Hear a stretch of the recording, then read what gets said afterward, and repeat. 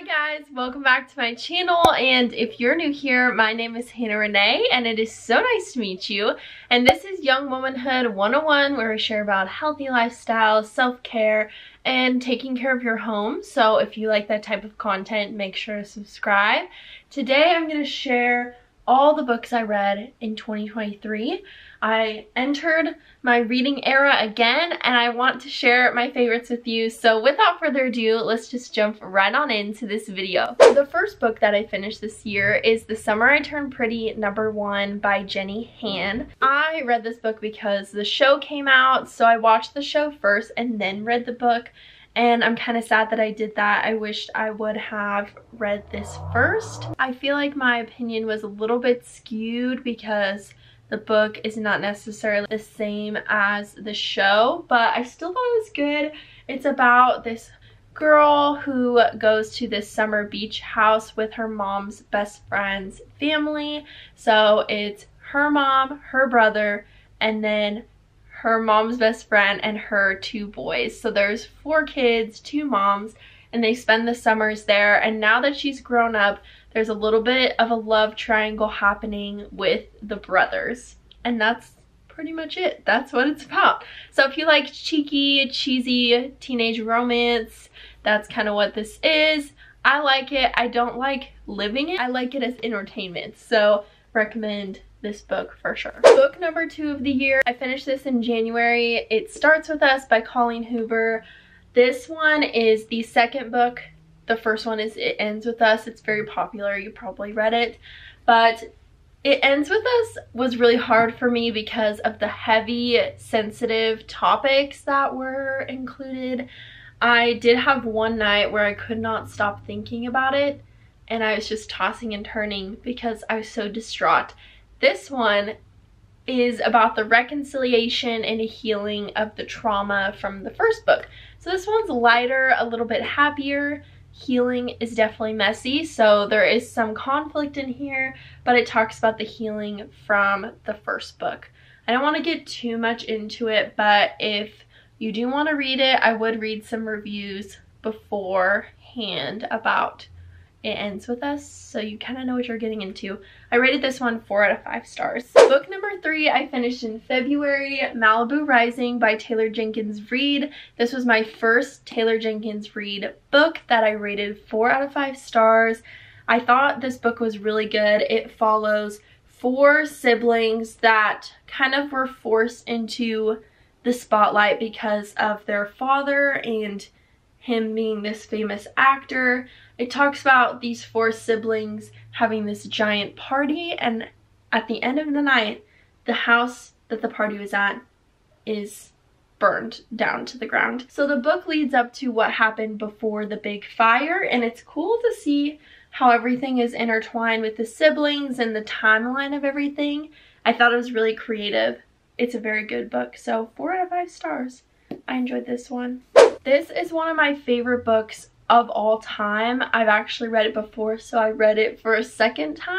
I finished this one in March. This is Emotionally Healthy Spirituality by Peter Scazzero. I believe that's how you say his name. Most of the time we don't deal with our emotional health and we just become a Christian and do the right things, but we don't actually deal with the things that are going on on the inside and heal those things to look more like Christ. I read it very slowly. I read it over six months. And I try to do that on purpose because I want to soak in everything that this book has to share. So if you do want to read this book, actually you should by far, you should read this book. But if you do read it, I recommend giving yourself time to do it over a period of time. But this is five stars, six stars for me. I will reread this forever.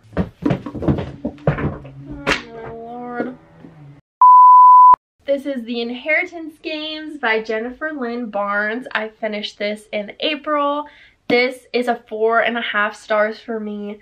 I love the mystery behind this book and the problem solving aspect. This is about this random girl named Avery that gets the inheritance of someone that she's never met and he's a billionaire or he was a billionaire. So now she suddenly becomes a billionaire and she has no idea why this random man gives her this inheritance. So it's all about solving that little mystery. It's a series, so it will continue to unfold and I'm very excited about it. But I love this series and I can't wait to read more of it. So recommend the Inheritance games. So good. Emily Henry is quickly becoming my favorite author. This is Book Lovers by her. I rated this five stars easily.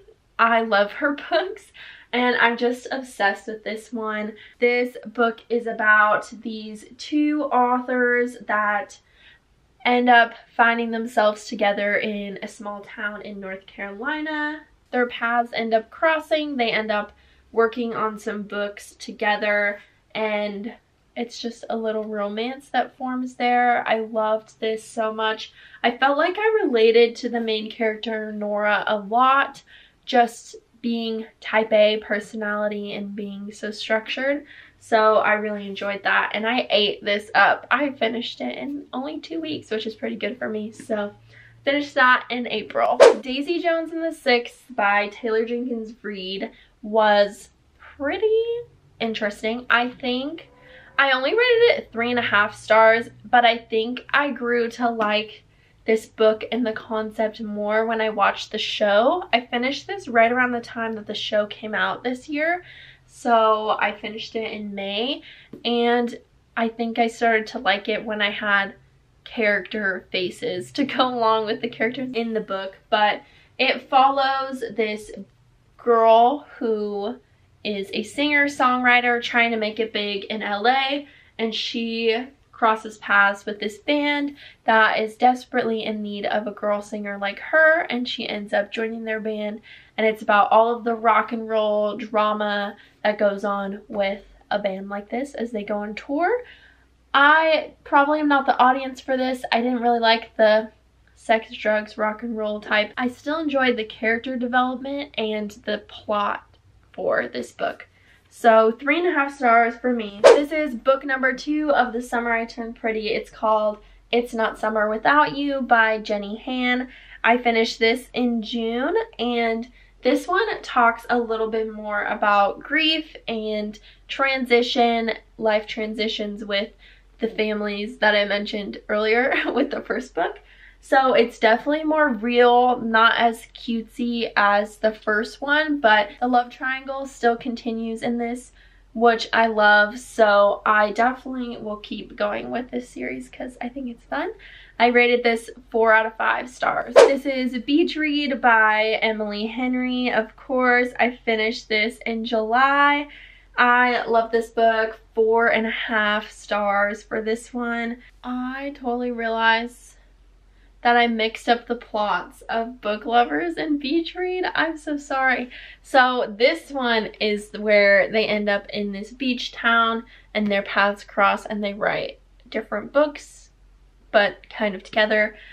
And then there's a little love story. Book Lovers is about this girl that goes on a sister trip to another little cute town in North Carolina and they meet this editor and things unfold as their paths cross, obviously.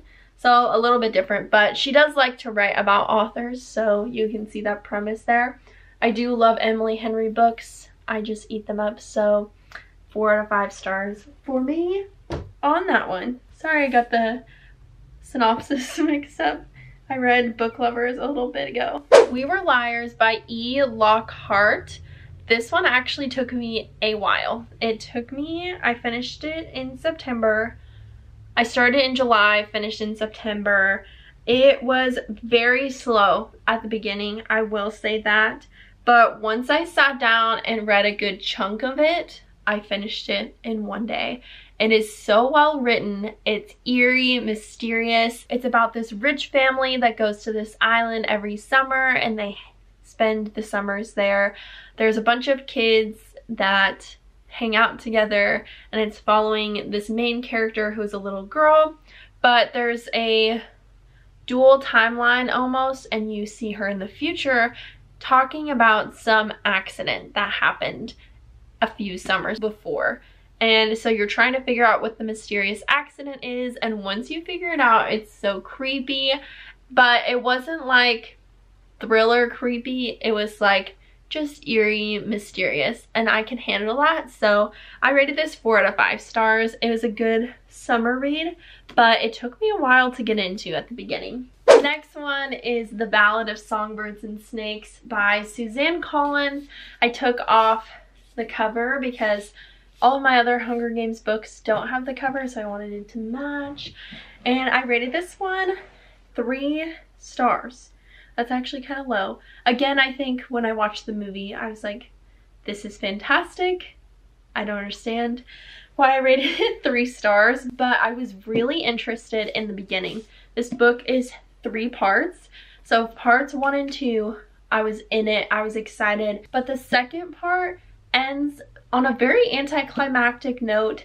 And then the third part, I was like, what is happening now? Like, I was a little bit confused, but I still enjoyed it. It follows the life of President Snow and how he came to become President Snow and just his role in the Hunger Games as a whole if you don't know anything about the Hunger Games, you're going to be confused. You need to read those first. But as someone who grew up reading those, I thoroughly enjoyed this and enjoyed the nostalgia. I think I liked it more when I watched the movie, but it left me really eerie at the end.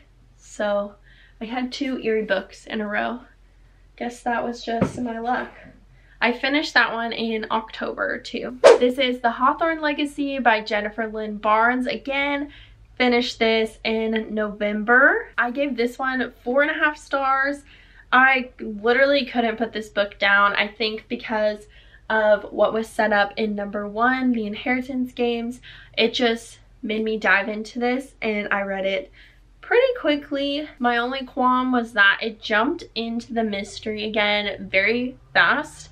So it was almost like it was meant to be read back to back and I had a few months in between. So it took me a second to get back into it, but once I did, I really loved it. So can't wait to read the next one of this.